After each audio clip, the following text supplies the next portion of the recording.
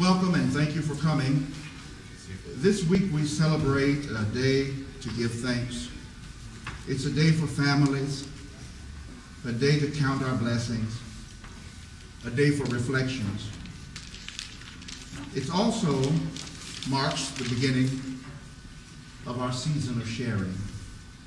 So we're here today to call on the CEO of the world's largest employer, Walmart, in the person of Mr. Lee Scott, to reflect what this company has accomplished and share that bounty with its own employees. Unfortunately, hundreds of thousands of Walmart workers will not share in the bounty because Walmart has shown that it is willing to put profits before family values. If I were at worship at Tabernacle, I would say, hunt your neighbor and tell your neighbor that ain't right. This profit over people policy adversely affects all humanity. Here are the facts. Walmart fails to provide company health care to over half of its 1.39 million employees.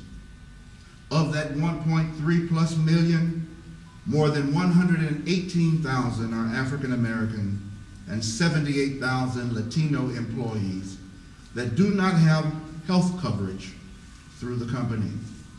By its own admission, one out of every two children of Walmart workers are uninsured or on taxpayer-funded health care programs. That's over 100,000 African American workers and 66,000 Hispanic workers whose children are either uninsured or forced onto public assistance. In the largest gender discrimination lawsuit in history, Walmart is being sued for discrimination against 2 million current and former female employees by paying and promoting women less than men for the same jobs. By its own admission, Walmart is facing 57 active lawsuits for labor law violations, such as forcing employees to work off the clock and forcing employees to miss meals and breaks. Walmart repeatedly violates child labor laws in the United States, even after it was caught and fined in 2005. The company continued to violate child labor laws, resulting in a June 2006 fine. According to the New York Times, an internal Walmart audit found that 1,371 violations. What did Walmart do? It simply stopped the report. Mr. Lee, you, your shareholders, your company have a lot to be thankful for this week. It's time that you made the right corporate decision to do the right things for your employees. Your company earned $11.2 billion in profits last year. It is time for you to do right by your workers. Finally, my friends, this is no panoply of sophistry made to perpetuate or deny Walmart or its billions of customers the right to offer and purchase goods. But it is an appeal for Mr. Lee Scott and his profit over people corporate fat cats to heed the warnings of the Holy Word. In Jeremiah 22 and 13, it says, Woe to him who builds his house by unrighteousness and his upper rooms by injustice, who makes his people work for nothing and does not give them what they are due.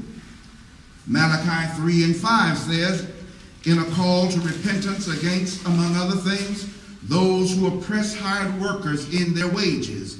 They are called to beware.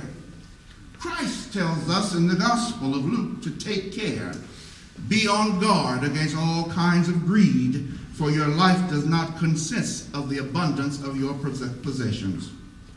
No, I didn't come here today to call for a boycott of Walmart.